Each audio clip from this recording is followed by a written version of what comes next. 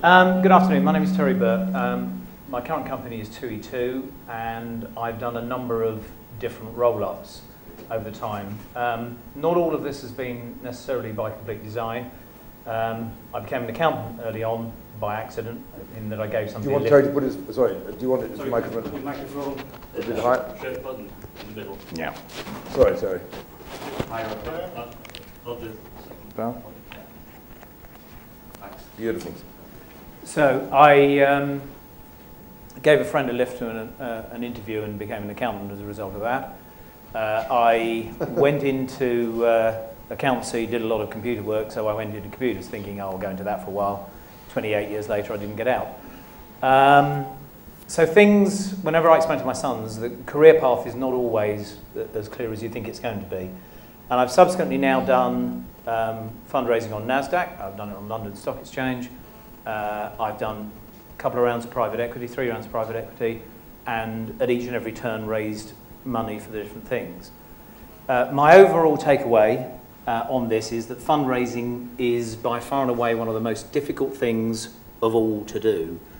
Um, I have had success at it, and I have had absolute gut-wrenching failure.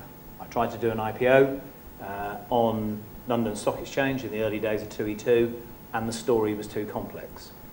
And nothing can come close to that feeling of failure that goes when you don't get it away, having put all of that effort in and spent all of that money. So, um, first of all, good luck to all of you who want to do the fundraising. It is amongst the most difficult things that, that you will ever do. Um, it always comes down to team, concept, and transaction. Uh, you've got to have a good idea. You've got, there's got to be a good business idea. You've got to be able to explain it. You've got to be able to put it across. And very often, the, the venture capitalists who we're giving an, an appropriate flogging to at the moment um, will be looking for a good team that will back that. Um, the other thing that you need to do, I think per the, some of the earlier comments from the panel, I think you need to find somebody who you can work with. Um, whenever you get the comment about, uh, well, we bring passion or expertise in a given sector, I think you can generally speaking expect to be disappointed by that. Not wholesale, but what very often, there is a difference between venture funding and private equity funding. Venture funding, people tend to understand more the technology and what you're doing and will get more behind it. Private equity funding, you'll tend to find that the people will bring money and governance. And governance is worth an awful lot. It holds your feet to the fire in terms of what goes on. And that very often is key in terms of some of the fundraising elements that you get.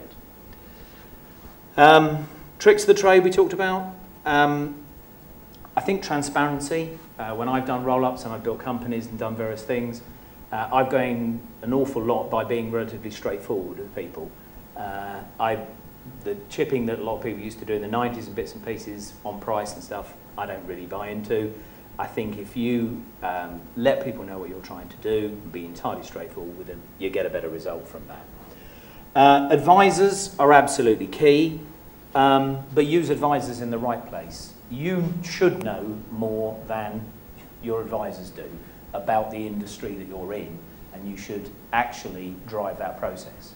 If you ask an advisory firm to do a search for you, the recently employed chemistry graduate will be doing it for you. They don't know that much about it.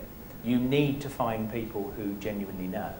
But then when you are going to prosecute a transaction, absolutely the best advice is key.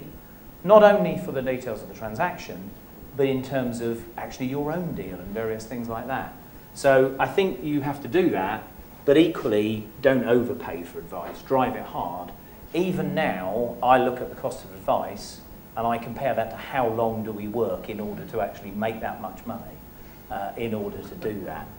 And uh, we've just concluded a deal uh, where we've doubled the size of the company uh, and from 200 million to 400 million and the fees were just over 10 million on that.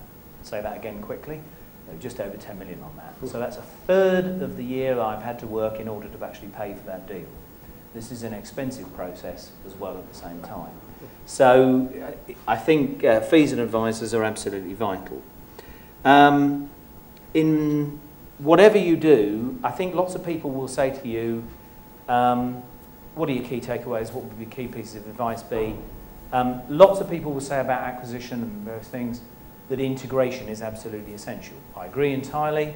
I think concept is more interesting.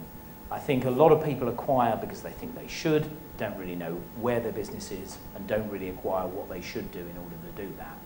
And therefore, I think if it starts from the wrong concept, I don't think you're going to get the right result as far as that's concerned. So I personally think the concept on integration transaction um, is absolutely vital. Um, other things, um, go through the exciting world of DD and various other things.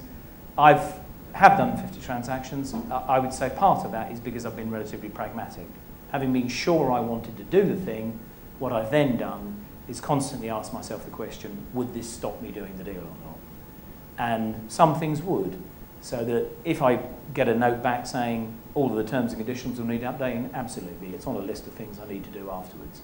If there's a nasty pension scheme that's got a big liability, okay, I might not do it, or whatever it would be.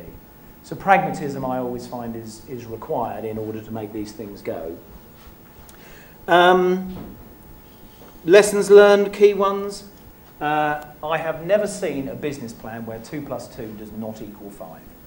Um, and they're always hockey sticked and they're always put that way. Almost invariably, in my experience, I've seen 2 plus 2 equal about 3 or 3 and a half.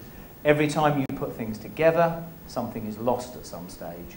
And it, that's almost inevitable in the process. Later on, you may gain it, the strategy may work, but almost inevitably from the get-go, everybody's business plan looks like this is suddenly going to take off. The reality of it is, is that you become internally focused, you actually don't necessarily do what you do, and you have to remember that Stuart is ultimately right. No matter how good you are at raising money and how good you are at spinning the story, if you can't do the business and if you can't develop it, then you won't go where you need to go as far as that's concerned. Um, what else would I say, or takeaways? Don't trust journalists. Um, I have, um, uh, I remember being interviewed recently for about 45 minutes for one of these award things, and somebody said, um, can I get a bit more detail about you? And I went through it all very eloquently, and then uh, the young lady asked me the question, well, would you do this again when this is finished? And I said, no, stop that, I'm off to a beach with some young lovely. Guess what she printed? None of the first 45 minutes, but the last 20 seconds because it made a good byline as far as that was concerned. So um, I think you do need to be desperately careful from there. Um, team is absolutely right. Um, finally, just to wrap up, I suppose, uh, a few kind of um, hot topics from there. Uh, best deal. Uh, well, I enjoyed selling the NASDAQ business we had, Forefront to NCR. Uh, that was for seven times the return that we did um, for the IPO, and that was just as we were running out of cash, and that was just after the dot-com boom. So that was a sweet day. That was really that was really quite nice. Biggest mistake I've made. Uh, I got the concept of a transaction wrong. I bought a company that had offices all over Europe because I failed and I thought the glamour was there. I bought flags in maps, and I don't think you should do that. I think you should always try and get the transaction right from there. Um, worst deal I've ever done, um, all eight nights all night in Paris trying to get a deal done uh, with a German company with simultaneous translation into French and German and English. Um, and however, that led to the best moment in my entire career, which was about five o'clock, everything had finished. Eventually we signed. I'd been signing since six o'clock the previous evening, bless France. And I um, walked out, dawn, just coming up, walked into a baker's, and they were just serving fresh pain au chocolat, one of those 10 minutes of your life you'd like to repeat again if you got the chance to do that. And I will never forget that, and uh, wouldn't have got the second bit if I hadn't got the first. um, so, uh, finally, would I do it again? Um, my friends would all say yes, you won't be able to give this up. Uh, I would say no, um, because thank you for your kind comments. It's not necessarily the age, it's the mileage that's the problem. Uh, I do wish you luck with your fundraising. Um, uh, my company is called 2E2. Uh, you can find it at me at terry.burt@22.com. You're more than welcome to mail me if you want to talk about anything or get stuck or do anything from there. Thank you very much. Thank you.